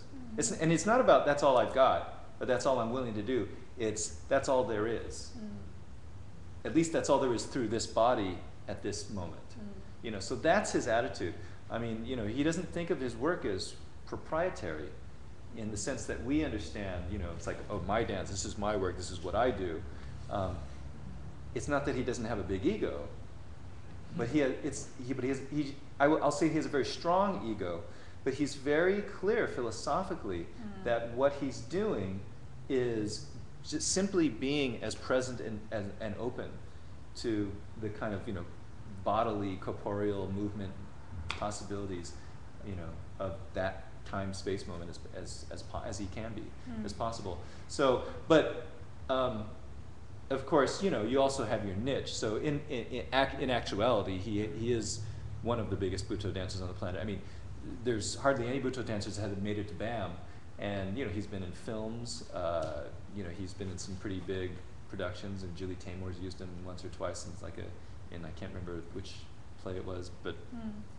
he's won the Japanese equivalent of the Best Supporting Actor Oscar um, for an amazing samurai film. Where he plays it, he play, basically plays a Butoh samurai. That's It's awesome. It's awesome. It's, he's awesome. What film is that? Uh, Twilight Samurai. Okay. He's amazing, and he's only in the film for ten minutes. Mm. Yeah.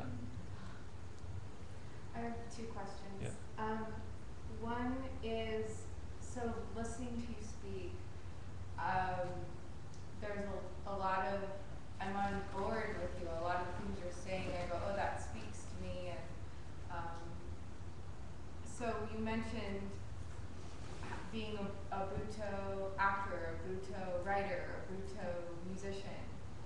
So, not that after tonight, listening to you talk, I would go out and say, oh, I'm, I'm a Butoh, I'm a Butoh actor, musician now, but what would you say would be things that if I wanted to let it influence me, Uh, um, you know, in in my arts practice, what Right. what would be some key things? And then the other one is um, with working with afflictions, and Mhm. I, I I'm drawn to that idea of yeah. of becoming. Right. And um, so let's say I had okay, here's here's my list of you know Right. afflictions, and and I'm gonna become them, and um, and you know, a, a starting point uh, off into that, um, but also I, what I'm curious is when you're when you're becoming this affliction Mhm. for an audience. Mhm. So it does something to yourself, maybe, or, Yeah. or maybe you discover. But I'm curious to, as to what you Can't help say uh, uh, the au- the audience's experience, or what you hope the audience. Right. Well, it's hard. Well, it's it's it's hard. I mean, you know, it's it's because it's a dialogue, and of course, and I'm not you uh, you as in the audience member. I, um, so I can't predict. Um, and that reminds me that I, that I didn't answer that part of your question. Um, so she asked it also. So I can't escape. So um,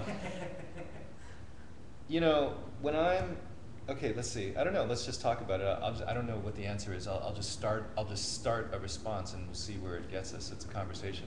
So, um, so ten. Let's see. When was it? Like eleven years ago, I, I created a solo piece. It was a. Sh- it was like I I don't know a half hour piece. I did it a few times over the years called Fugue. And for me, it was uh, I guess it was four different characters or personas of masculinity.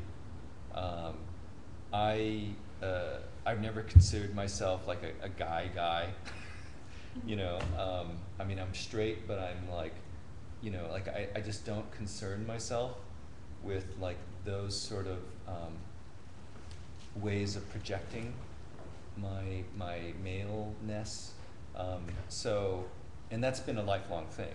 Um, and so, uh, you know, finally at, at that point, I was like, oh, uh, you know, this is a thing for me, so I should do some work about it, or I should make a work about it, or, or I'm going to. And so I had like, um, so I, I, what did I have? I think they were they were kind of like all musicians. Like one was a crooner, uh, kind of 50s style crooner, kind of Elvis-ish, and the other was like a, a guitar hero, and the other was like a, kind of a, a, a tortured classical piano player ish thing. I mean, I'm saying I'm saying they're all musician things Mhm. because because of the music I used, and then the other oh the other was like a, a kind of old school uh, Broadway early Broadway hoofer. Mm. Um, so it was all these different forms of masculine stereotypes or archetypes, or rather archetypes, really, uh, art both, and um, and how does my body, how does my uh, you know, just my and my personality uh, and my way of expressing, just my way of being uh, a man. How does that relate to all those things? You know, I feel some, you know, because of the society we live in, um, I feel some conflict about that sometimes. Um, and what is it? What what would it be? I sort of asking myself questions like, well, what would it be like for me to just ask those questions of myself, of my body, in front of an audience? You know, so, and of course, the, the, safety net is that I'm just playing characters, mm. you know. But then the, the actual, for me, emotionally or psychically, the actual lack of safety net in reality is the fact that, you know, I'm up there uh, by myself. I'm just dancing. There's no story to hide behind. And I'm dancing in a form that's totally uncodified. So what you're seeing is what is literally what is all there is. Mm. And that's and it's all coming from me. So, you know, I don't know if I, I don't know if I would label that as like a, affliction, you know, so I don't know if I'm answering your questions in, in that sense, but what it is is this sense of crisis in me, this this embodied tension, this this unresolved uh, you know, the set of questions or issues um, in my identity. And I think that in principle is what I do in every performance. Um, and so, um, you know, the, the idea of affliction, you know, I, I, I mentioned it because in the clip I, I showed, um, in Vestiges of Creation, that, that ensemble show, because we were specifically working with that idea. Ritual of affliction is an actual uh, academic term. Mm -hmm. so that's, that's where I was getting it from, and that's what we were working with. Um, in terms of the history of Butoh and Butoh and what, what Butoh's style has been for much of its history, it's also there. Hijikata was big, big, big on things like affliction and brokenness and uh, illness and death and, uh, and disease and, and all of that stuff. You know, all this really you know, dark, like genuinely dark stuff.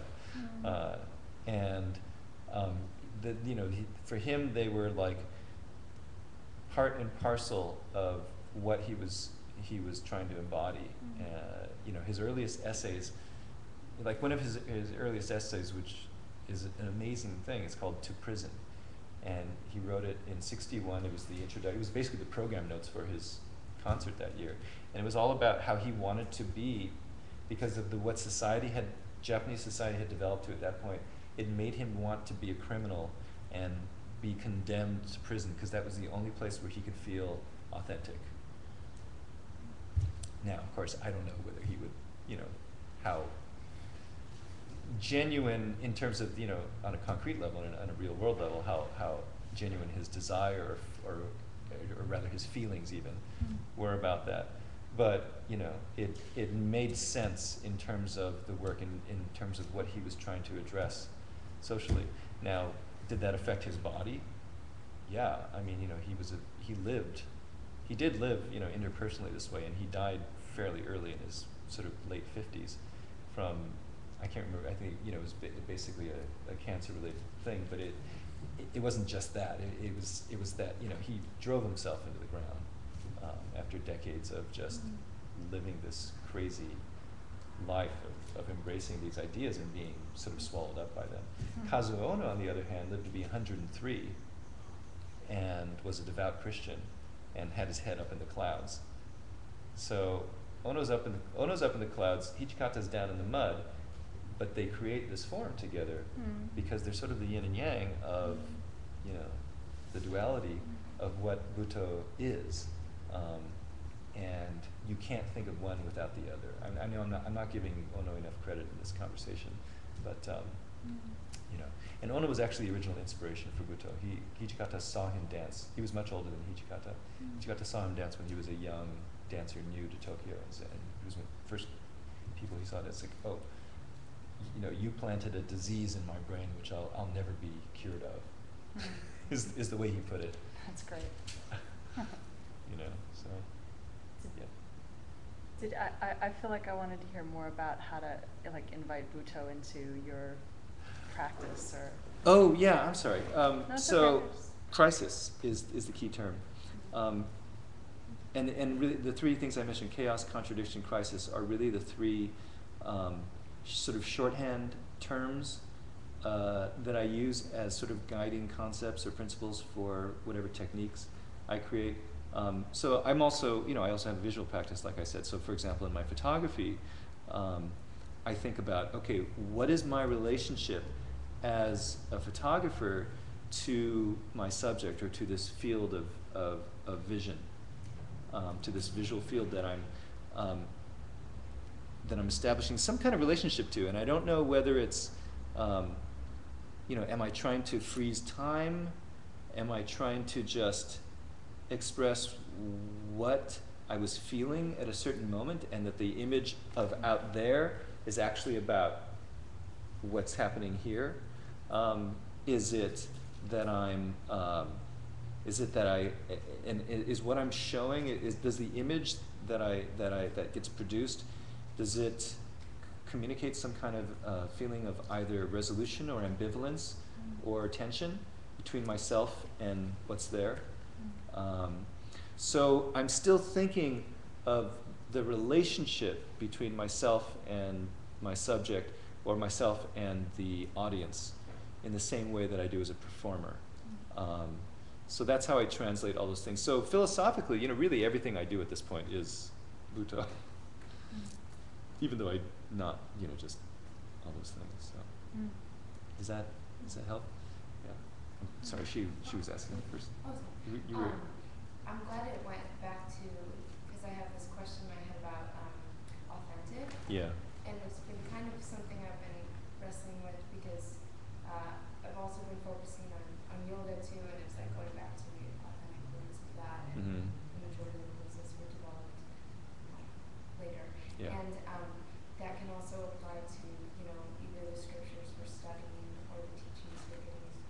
Um, your wife dancing, um, you know, uh, the, the movies coming out, Step Up, 3D, 500, I don't really know what it is, doing popping in it, but it's not the o- original popping, you know, um, form.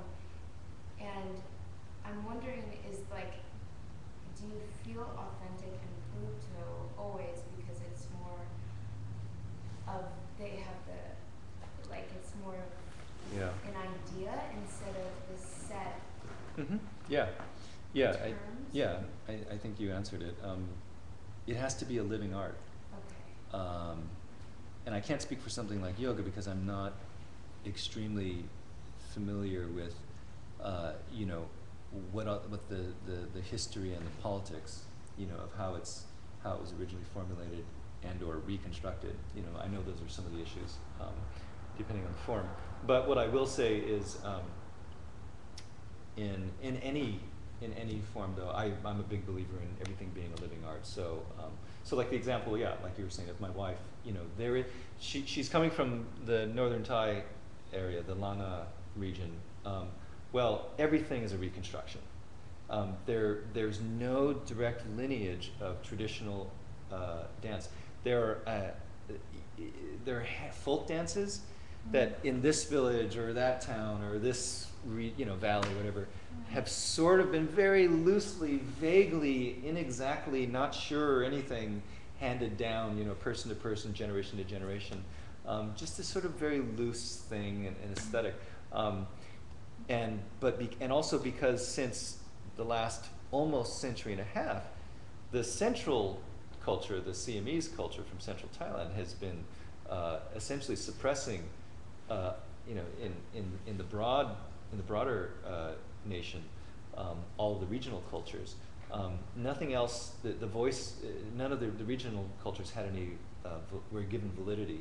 So no one, uh, under, no one was, was allowed to uh, officially either codify or bring things forth. Um, so the, all of the people for the past two or three decades who've now uh, made room for themselves to create these things. And it's not just dance; it's also music, it's uh, painting, it's uh, visual art or sculpture, uh, design, um, textiles, things like that. So it's it's like okay, we're going to take, we're not going to try and do what people we think people were doing in 1850. We're going to do what who we we are who we are now. We have our own biases, our own prejudices, our own desires, our own values, our own loves and hates and, and everything. But all of this stuff that's lying around is also ours. So what does that make? Let's see. So I, you know, so I have the same attitude toward, you know, Butoh as I do with something like that, as with any any any context, any form. It has to be alive. So I don't think of authentic. There's no such thing as authentic Butoh. There's what Hijikata did. There's what Hijikata did in 1960, which is different than what he did in 1972 when he established, he officially established his company, which is different than 1986, which was his last big ensemble show right before he died. And everybody who looks and everybody who's worked who worked with him at all those different stages says very different things about who he was and what he believed and how he worked, and um, you know what his his his lexicon was, um, and what his forms were. So. Um, so you know, you look at just the reality of something like that, and you know, you have to accept that um, in your own work, in your own engagement with a practice, you know, whether you consider yourself creative and originary or interpretive or just someone who just has a practice in, in any level, um, I think you have to just accept that okay, how does it live here and now in me with me, um, and let's let's go from there. So you would know. that mean that all, in all instances, if your intention is in the correct place, and you're trying to get the feel of the movement or the, Mhm. the art, would that be authentic, even if it wasn't? See, I, I, I don't- see, I don't, I don't, th- see, the, the, the question, is it authentic, to me is a non, it, it's, it's not a, eh, to me it's a, it's a, it's a non-starter. Um, I don't, to ask if something's authentic, you've already killed it. Okay. Yeah, like, you know, if you ask me what is Butoh, um, like the best answer that I've ever heard for what is Butoh is uh, uh, Hiroko Tamano, who was a longtime great teacher up in the Bay Area um, from Japan. Anytime anyone asked her that, asked her what is Butoh, she would just like go, "Who are you?" and you know, she's, she's a hilarious person. Um, she's an amazing teacher. If you ever get to, they, they keep actually they're teaching this month. Her and her husband Koichi are back. Uh, Mm. they're teaching again this month. Um, uh, and that's it. I mean, like that's that's the answer. So it's it, it has to be alive. And by saying "Who are you?" my my interpretation of, of, of her answer of her saying that is is um, you know what is Butoh? It's